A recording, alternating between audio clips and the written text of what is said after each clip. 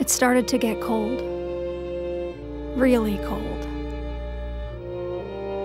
I've been in this apartment for a year. Sometimes it feels like a lifetime, and other times I still imagine that you'll crawl in bed next to me. And no matter how early I go to sleep, I can never quite believe it's morning when my alarm goes off. You would laugh at me now.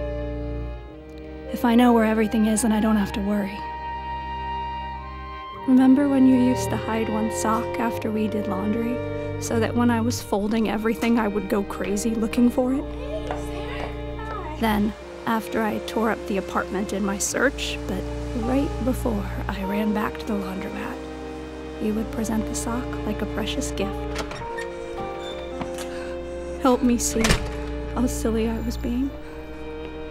Now, when I'm missing a sock, I'm just missing a sock. Hey, uh, wait, I know you. Sarah.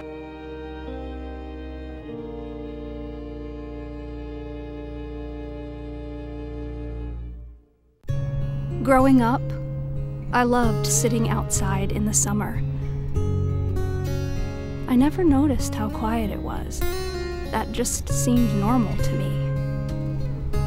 And then, after a few years in the city, the constant noise and the bright lights started to feel normal. In fact, I stopped noticing them.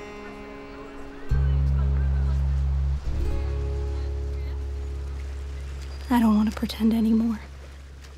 I know that now.